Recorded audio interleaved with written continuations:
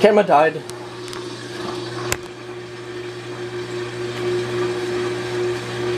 So now it's on final spin. 11 minutes.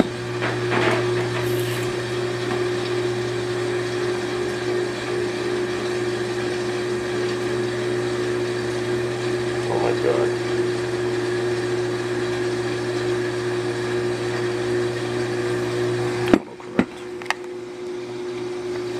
Final spin.